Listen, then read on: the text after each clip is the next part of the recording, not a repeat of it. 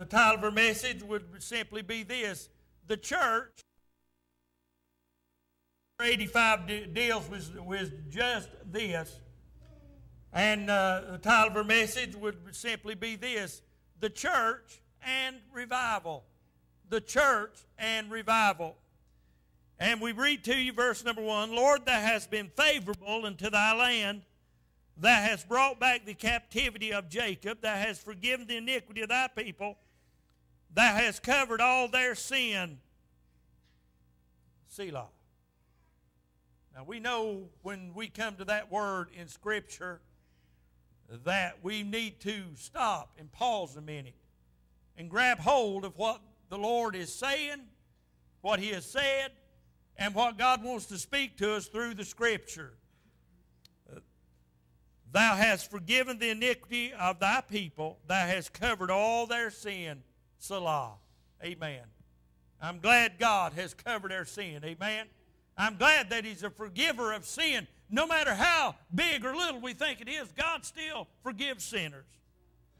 Thou hast taken away all thy wrath. Thou hast turned thyself from the fierceness of thine anger. Turn us, O God, of our salvation, and cause thine anger toward us to cease. Wilt thou be angry with us forever? Wilt thou draw out thine anger to all generations? Wilt thou not revive us again, that thy people may rejoice in thee? God, would you revive us again, that God's people might rejoice in thee? Now, we said here today a congregation of people that are every one of us, we're out in the world when we leave here. Tomorrow you go back to your workplace or your job or your home or school or wherever you're going. You go, you're thrown right back into the process of this world. And this world has no hope without God. This whole this world, friend, if you're looking to this world for your hope and your blessings in life and your way of life, I'm sorry for you. This world is not the home of the believer. We are just passing through. Amen? But we live in this world and we have a presence in this world. And in this world, our lives must count for the Lord. We must look for better than this world's got to offer. Amen? If I look around at the world and all that is going on in it and try to build a hope and try to build a life on what this world is, friend, I'm not going to do any good at all. But if I look to the Lord and I trust Him and I truly believe with all my heart that the Word of God is what we stand upon, what we believe, what we trust, and I do that and I go about my life to live after this blessed book, friend, I tell you, I'll have a good time going through my life as a believer. Now, listen, I'd be crazy to stand up here and say everything uh, with our country as well. It's not.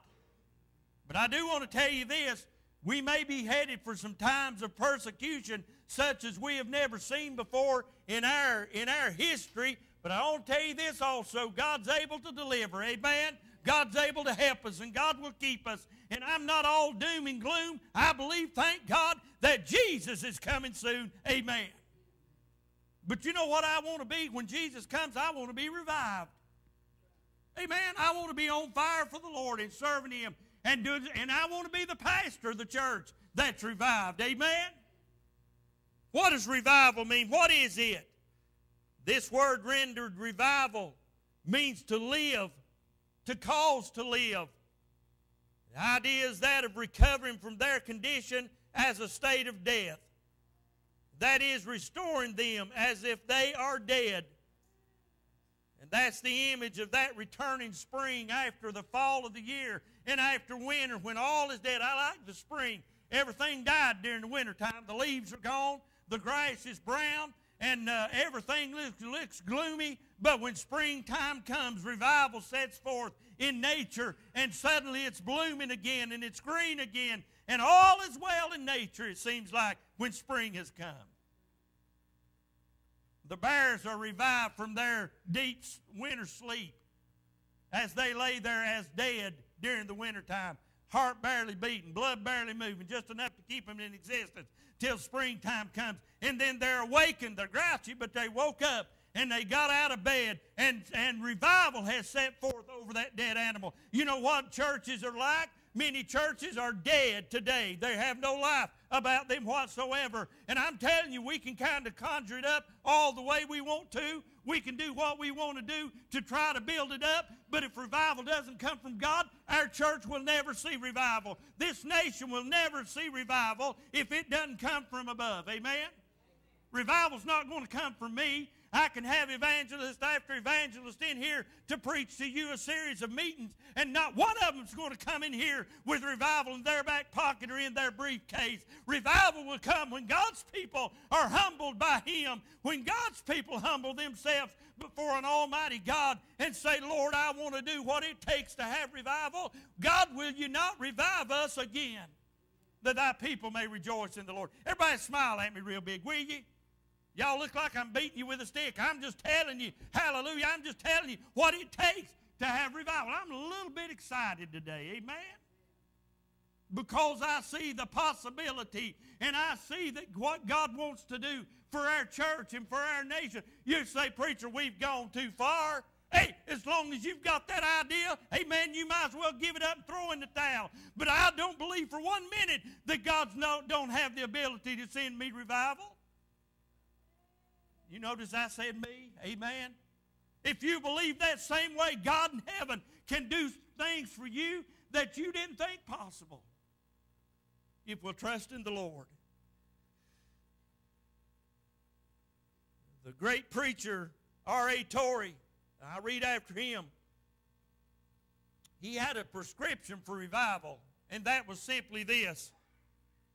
And I'm quoting here I can give a prescription that will bring a revival to any church or community or any city on earth. Boy, doesn't that sound good? Doesn't that sound good that someone's got a prescription for revival? We can go to the doctor and we get a prescription for anything we want. And most time they'll give it to you and you don't have to do much to get it. If you're sick, they'll give you something to make you better. If you can't sleep, they'll give you something to make you sleep. If you can't wake up, they'll give you something to wake you up. If you feel bad, they'll give you something to make you feel good. If you're hurting, they'll give you something to either relieve the pain or make you not care. Amen. You can go to the doctor and get a prescription for about anything, but I want to tell you something. You can't go to the doctor and get a prescription for revival. You can't go to the government and get a prescription for revival. You can't go to me and get a prescription from the Bible, but there is one. And here it is. Number one, let a few Christians, parentheses, they need not be many, get thoroughly right with God themselves. A handful. Just a few to get right with God themselves. And what I mean when I, I'm, I'm saying put aside sin, Put aside hateful thoughts, put aside malice, put aside greediness, put aside all that in your life, and give your life solely to the Lord Jesus Christ and fully surrender to God and say, Lord, here I am, use me. Do what you want to with me. God send revival. There's where the big, biggest roadblock is to most Christians in having revival is we don't want to surrender to the Lord. Now, if I don't get some amens, I'm going to have to conjure them up myself here now. You know I'm telling you the truth. The biggest, the biggest uh, dead end to revival in the local church is that God's people are not willing to get right with God and surrender themselves fully to the Lord. You know why? Because the first thing the devil says is, well, you're going to have to give up this that you enjoy in the world. Yeah, If I surrender myself to the Lord and I want revival, then I'm going to have to quit doing this. I'm going to have to quit doing that. You'll find yourself much better off if you give up those things anyway because that's only temporal pleasure, whatever it might be in your life. Y'all know how much I love to enjoy going fishing, don't you? And there ain't nothing I like better than being on the side of a tree somewhere in the cold air waiting for that one to come along that I can put on the plate. Amen.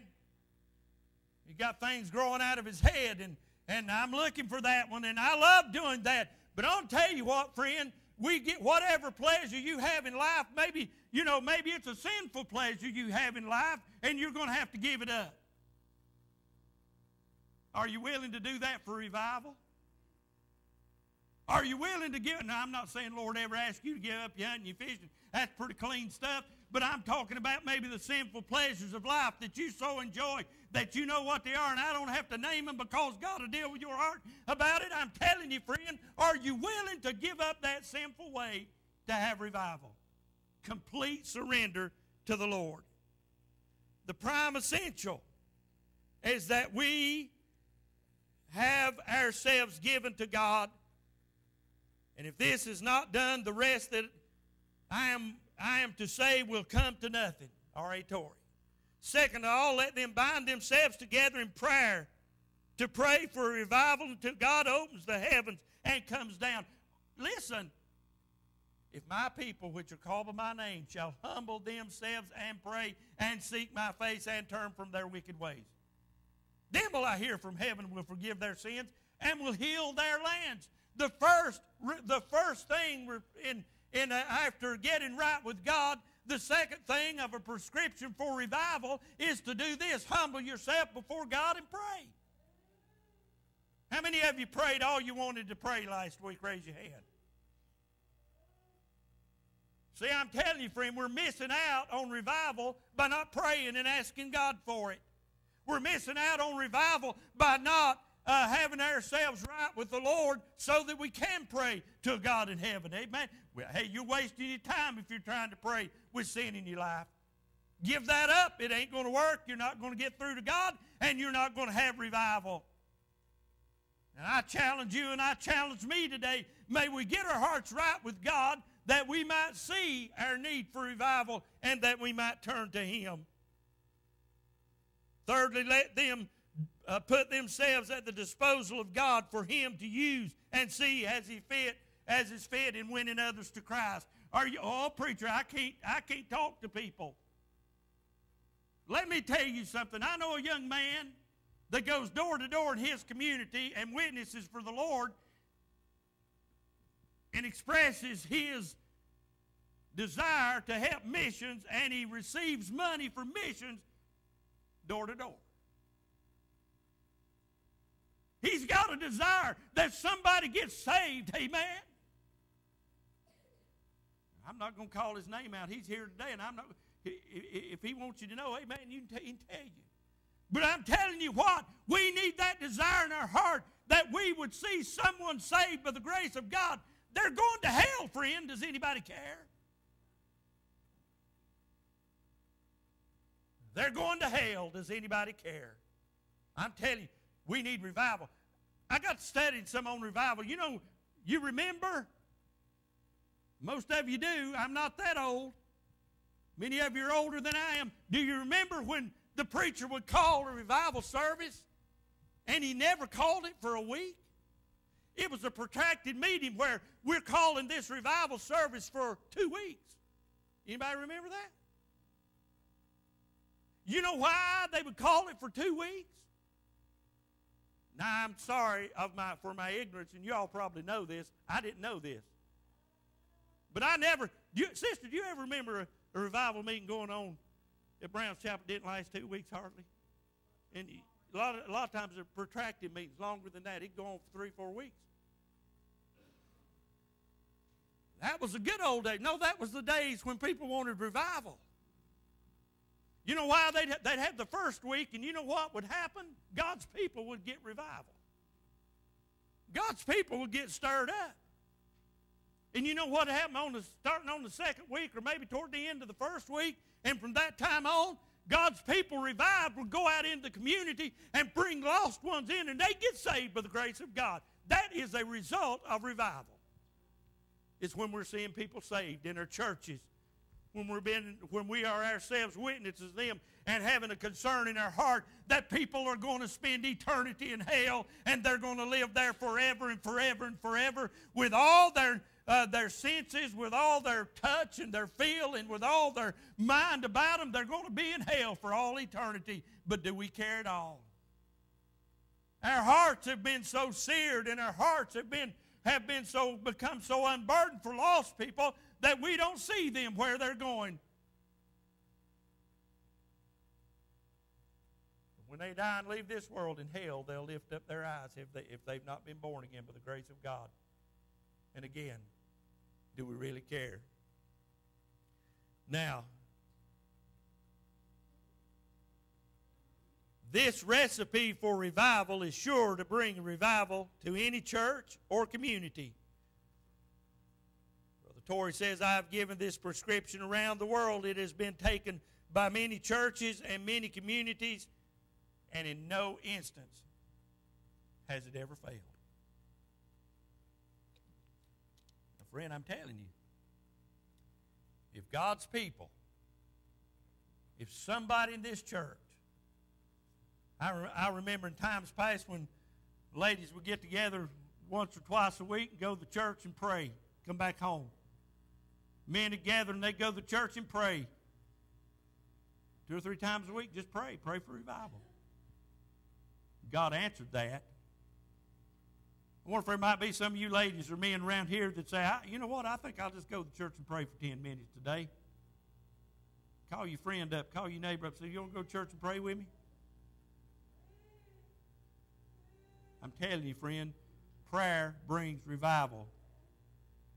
The lack of prayer means there's no revival. We must pray and call upon the Lord. Are you willing to sacrifice a little time in praying and calling out to the Lord. Wilt thou not revive us again? Wilt thou not revive us again? Now, this is my introduction to a message that I'm quitting on right here. I want to ask you something. Are you willing to have revival in your heart? Do you really, how bad do you, revival will come when we want it bad enough? I'm telling you, friend, if we desire it, and God will burden our heart for it, and we begin to do what God wants us to do, and pray and seek the face of God, you'll see a change in this church. You'll see a change in this community. All because God will honor us with a revival spirit. Now look, I've got some I've got some amens out of you. I've got some strange looks. I've got some happy faces. And I'm not by all any stretch of the imagination saying today that we're cold as last year's bird nest and dry. But I will tell you this I need revival. And I believe with all my heart you need revival. And I believe we're at the door, at the threshold of having revival if we will just pray and seek the face of God. Father, Lord, maybe next week you'll let me finish the message, but right now, God, we're through. And believe, God, we've said all that you want us to say today. I pray right now, Lord, that you'd send revival. God, help me. Forgive me of my sin. Oh, God, may I put those things out of my life that would hinder me in service for thee, that would hinder me and not, ha- and not having revival. God, as we confess before thee today, God, our sins are many. But God, we want revival, and I pray, God, you'd help us to walk in that straight way, that plain path. Lord, I pray if there's someone here today that don't know you, that's lost, God, will you touch them, God, today with the spirit of conviction? God, that they might come to know you before it's too late. We'll bless you and we'll thank you in Jesus' name. Amen. God.